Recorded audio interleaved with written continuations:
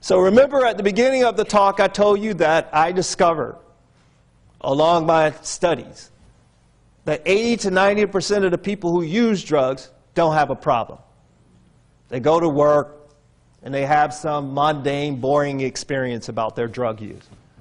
Experiences that don't make it into documentary films or into bad TV shows or into newspaper articles that are salacious and incredible, incredible being unbelievable, right? They don't make it into these experiences. So if you got if you got an institution focused primarily on pathology and they fund 90% of the world's research in this area, what do you have? You have a disproportionate focus on pathology. And what does that mean for what gets published in the scientific literature? What does that mean for training, the training of those scientists? In the newspapers, what does that mean for your drug education?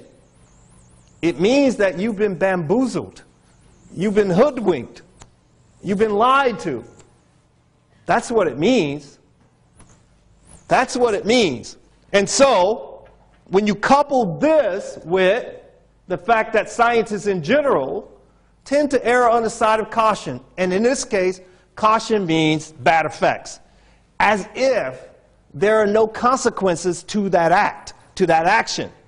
If there were no consequences to erring on the side of caution, that'd be cool, wouldn't be a big deal. You wouldn't have me talking. But there are consequences, right?